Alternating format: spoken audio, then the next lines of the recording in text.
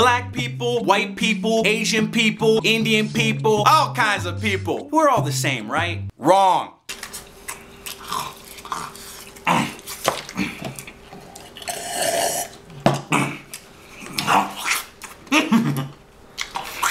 Hey, don't get me wrong, okay? I'm not trying to be racist. I'm just stating the fact. We're all different. Even our parents act differently. Uh, Dad, I accidentally smashed the car into the side of the house. It's alright, son. I love you, Dad. Come here, my son. Can we still get ice cream? Sure. Hey, Pops, I got your bananas and chips, but I forgot to get the milk. Mother what? Forgot the milk. Forgot the milk. And if you're still not convinced, think about how a white person would react to something as compared to a black person. What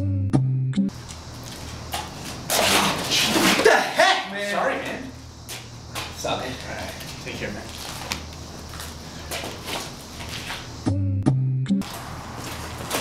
Mother Give me your shoes.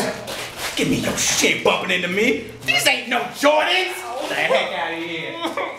Nah, but for real, at the end of the day, no matter how different people are, we should all still treat each other as equals. I know, I know, bring in the awes.